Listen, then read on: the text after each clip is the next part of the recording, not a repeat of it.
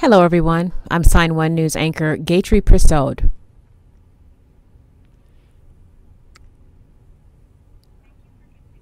If you post an interesting comment during this update, we may add it at the bottom of the screen.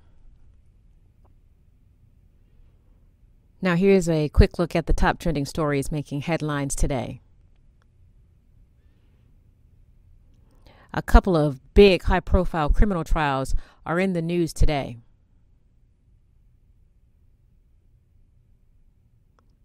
Late last night, a Chicago jury deliberated for nine hours and found former Empire actor Jussie Smollett guilty on five counts of disorderly conduct.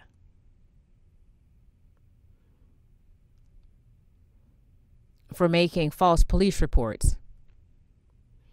They believe that he paid two men to attack him in an effort to seek public sympathy. Smollett could be put on probation, sent to jail, or pay a $25,000 fine. But his lawyers say they are 100% sure the verdict will be overturned when they appeal.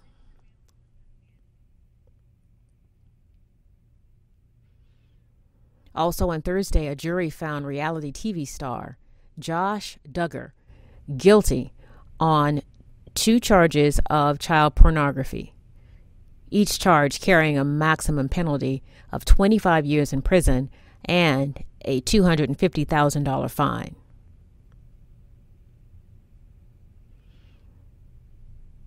Duggar was a star on the television show 19 Kids and Counting.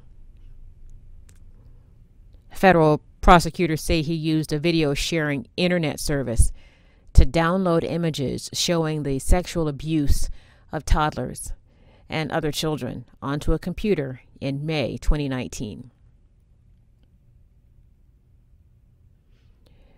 A word of warning the video in this story may be disturbing to some viewers.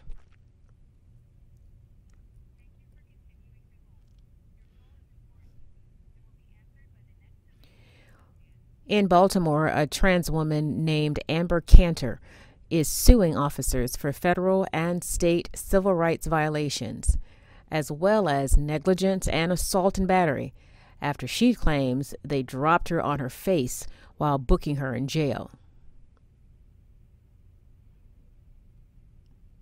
In the video, Cantor can be seen in a yellow jumpsuit surrounded by three correctional officers.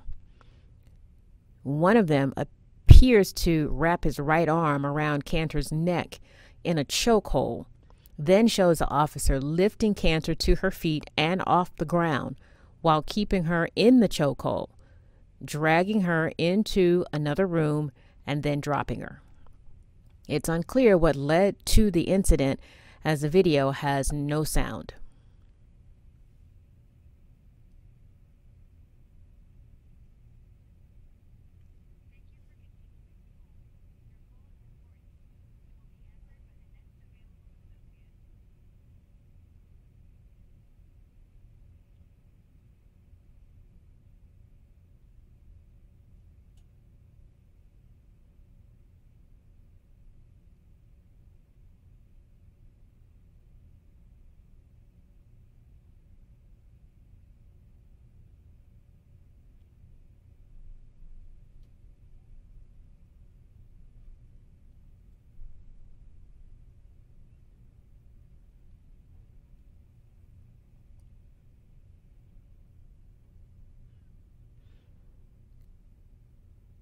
The lawsuit accuses officers of failing to seek medical treatment for more than 10 minutes, and it claims Cantor was taken to an intensive care unit suffering from bone fractures to her face, severe bruising to the left side of her forehead, and internal bleeding behind her right eye.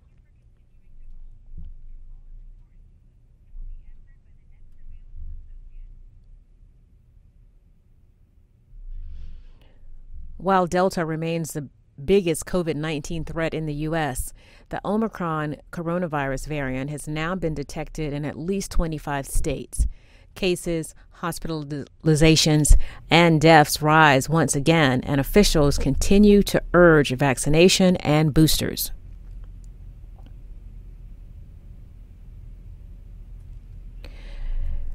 As things stand now, just about one fourth of vaccinated Americans have received their booster shots. But now vaccine makers are already talking about looking at the possibility of a fourth shot down the road, but they say it's still far too soon to say if it will be necessary.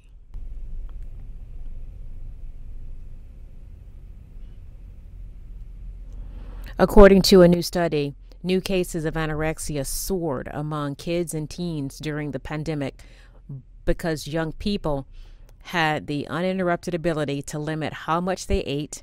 They had the uninterrupted ability to exercise as long as they wanted.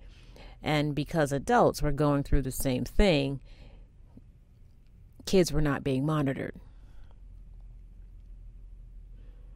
And doctors say now that we're entering a new phase of the pandemic, it's important to spot the red flags of an eating disorder early which include weight loss, a child isolating themselves, extra workouts, and cutting out entire food groups from their diet, like carbohydrates.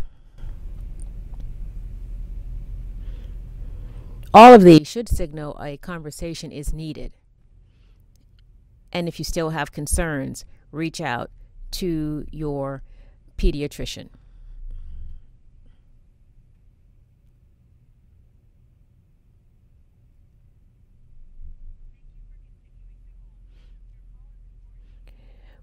Police say former NFL wide receiver Demaryius Thomas was found dead at his home in Roswell, Georgia, last night.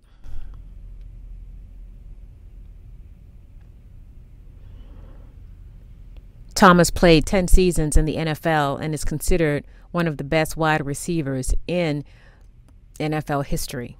He retired earlier this year in June. Thomas's cousin said he had been suffering from seizures for over a year and believes he had a seizure while showering. Thomas was 33 years old. He would have turned 34 on Christmas Day.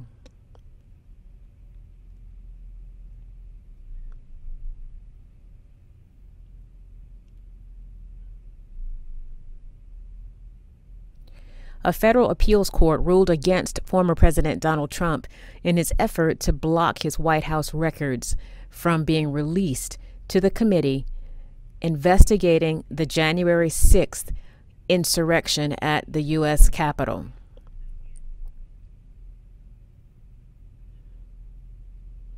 The court ruled unanimously that there is a unique need to see those documents based on the attack on the Capitol, but they will give Trump's team time to appeal their decision to the Supreme Court. Trump's team responded, this case was always destined for the Supreme Court.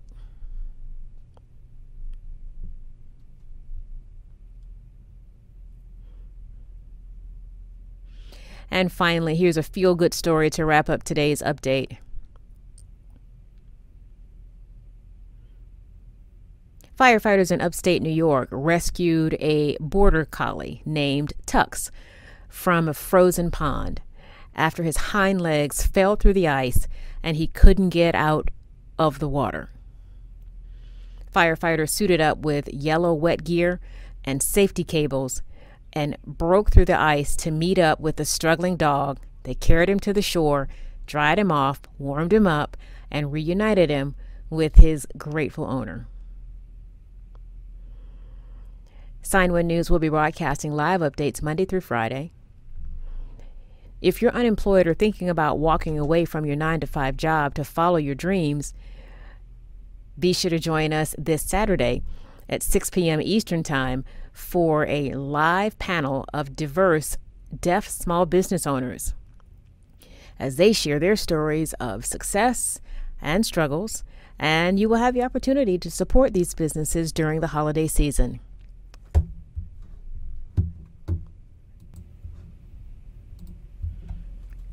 A big thank you to our Sign One News app supporters. You help make this broadcast happen.